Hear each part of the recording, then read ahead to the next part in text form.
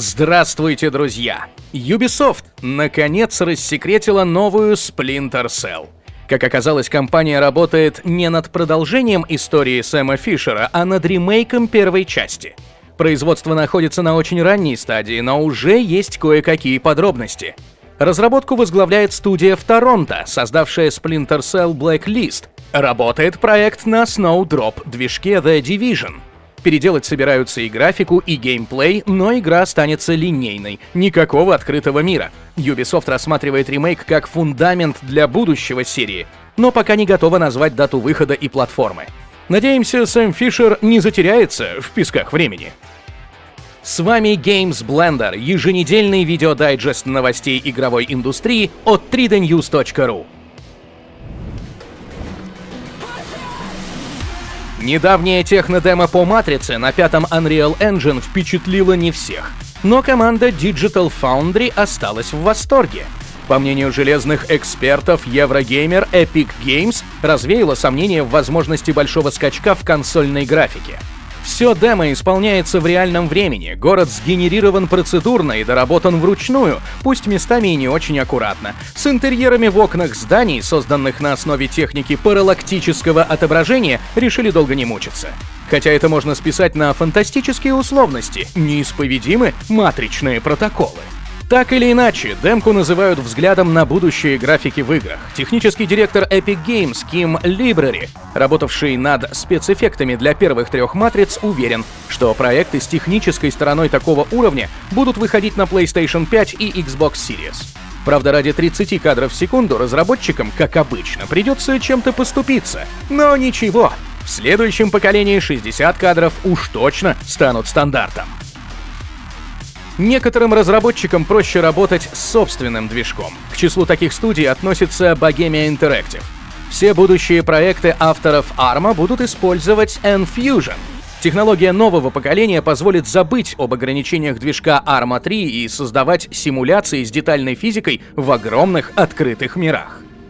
Движки, графика — это все хорошо, но требует много времени и вложений. Другое дело — NFT. Блокчейн привлекает разработчиков будь то по цепной реакции.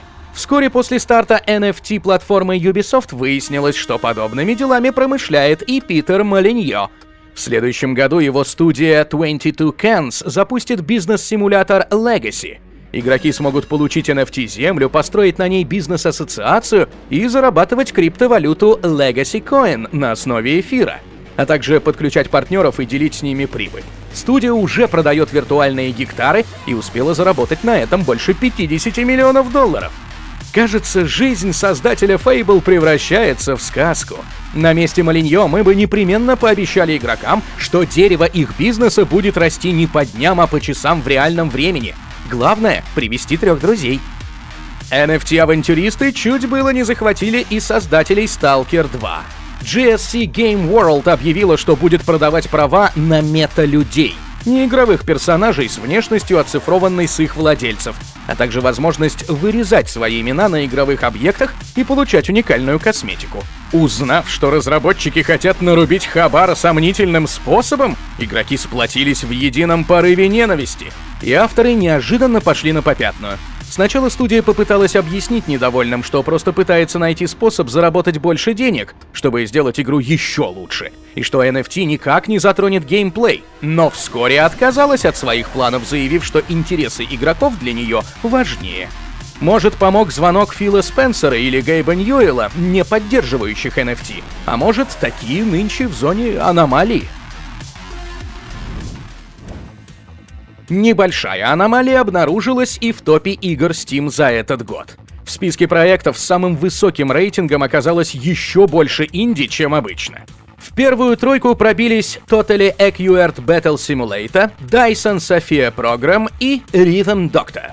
Inscription и Valheim попали только во вторую десятку, а единственными большими проектами в топ-20 стали Psychonauts 2 и It Takes Two, 14 и 19 места соответственно. Чтобы вы почувствовали глубину этого списка, скажем, что Battlefield 2042 находится ниже десятитысячного места, почти на самом дне. Может, DICE стоит попытать счастье с симуляторами мойки и пекарни? Продолжаем новостями покороче. Rebellion анонсировала Sniper Elite 5. В новой части игроки будут устранять нацистских офицеров во Франции 1944 года. Обещают самые крупные и атмосферные карты в серии, продвинутую стрельбу и новую систему перемещения. Релиз в следующем году на ПК, PlayStation и Xbox, а также в Game Pass. CD Projekt урегулировала судебный спор с инвесторами, обвинившими компанию в обмане покупателей Киберпанка из-за несоответствия до релизных записей геймплея финальной версии. Если решение одобрит суд, разработчикам придется выплатить акционерам всего миллион восемьсот пятьдесят тысяч долларов. Учитывая, что игра окупилась еще до выхода за счет предзаказов, поляки отделаются легким испугом. Бывает так, что огромная популярность создает сложности для разработчиков. После выхода дополнения Endwalker Final Fantasy XIV привлекла больше людей, чем новая Forza Horizon на запуске. Очереди стали настолько большими, что пришлось временно остановить продажи стартового и полного изданий MMORPG и запретить создание новых аккаунтов в пробной версии. Зато в качестве компенсации подписки бесплатно продлили на 14 дней. А вот китайской Angela Game крупно не повезло. Стоило Myth of Empires выйти в топ Steam, как игру удалили из магазина из-за претензий создателей Ark Survival Evolved, считающих, что новую игру сделали на основе украденного у них исходного кода. Теперь китайцы пытаются вернуть свою игру в продажу через суд. Ждете возвращения Були? По слухам от инсайдера Тома Хендерсона, вторую часть собирались анонсировать на прошедшей The Game Awards, но почему-то передумали. Впрочем, некоторые ресурсы утверждают, что Rockstar делает не сиквел, а ремастер или ремейк, а с анонсом решила не торопиться из-за проблем с переизданиями GTA. Remedy тоже не собирается выдавать подробности Alan Wake 2, по крайней мере в ближайшие полгода. Но кое-какие моменты все же прояснили. Алана Уэйка снова озвучит Мэтью Паретта, а внешность герою подарит все тот же Илка Вилли. При этом по пути Resident Evil серия не пойдет. Сиквел будет игрой от третьего лица. Double Fine не отказалась от намерения перевести Psychonauts 2 на русский язык. Соответствующее обновление выпустят в начале 2022 но перевод будет только текстовым. Arc System Works показала свежий трейлер файтинга DNF Duel, основанного на ролевом экшене Dungeon Fighter Online. Как выяснилось, новая игра авторов Guilty Gear выйдет не только на PlayStation, но и на ПК. Сроки пока неизвестны. Гигеровский хоррор Скорн уже 4 года не может добраться до релиза, но в следующем году ожидание должно закончиться. Премьеру назначили на октябрь 2022 года. Игра появится на ПК и двух поколениях Xbox, в том числе в Game Pass. Microsoft выпустила обещанный документальный сериал Power On The Story of Xbox. Все шесть серий можно посмотреть бесплатно с русскими субтитрами на YouTube и других видеоплатформах. В честь этого события компания стала продавать необычный мерч, постеры с изображением Красного Кольца Смерти, говорящего о критической системной ошибке Xbox 360. От этой проблемы сильно пострадали первые партии консолей. Теперь зеленые решили отыграться. Раз уж Кольцо Смерти стало мемом, почему бы не продавать постеры с ним по 25 долларов за штуку? Хорошо, что представлены они не в виде NFT. Не забудьте поставить лайк и подписаться, а мы расскажем о том, какие игры вышли недавно и какие ожидаются на следующей неделе. Кооперативный хоррор-шутер GTFO выбрался из раннего доступа Steam спустя два с лишним года. Игра славится своей хардкорностью, но этим же может и отпугнуть, так что с официальным релизом специально для новичков добавили контрольные точки. Ранний доступ также покинула Pray for the Gods — зимняя фантазия на тему Shadow of the Colossus от студии No Matter. Игра также доступна на PlayStation и Xbox. В Steam и GOG вышел ремастер Scrapland — старенького приключенческого экшена про роботов, людей и космические гонки. Проект создала Mercury Steam, впоследствии перезапустившая серию Castlevania и разработавшая Metroid Dread, а продюсером выступил American McGee. В Assassin's Creed Valhalla начался кроссовер с Assassin's Creed Odyssey.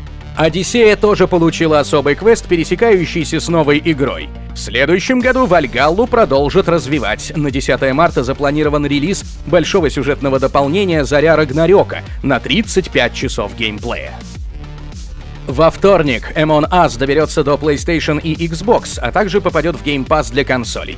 Четверг Alien Isolation станет доступна в мобильной версии для iOS и Android. А в Steam и GOG выйдет Альфред Хичкок Vertigo, вдохновленная культовым триллером. В следующем году игру выпустят на консолях. Пятницу в Steam, а также на Xbox и Nintendo Switch заглянет атмосферный платформер Aspire Ina's Tale, а когда-то до конца года в раннем доступе Steam стартует Ready or Not, тактический шутер от первого лица про спецназ с акцентом на реалистичном проведении операций. Всем спасибо за то, что были с нами. До встречи в следующем выпуске Games Blender, друзья!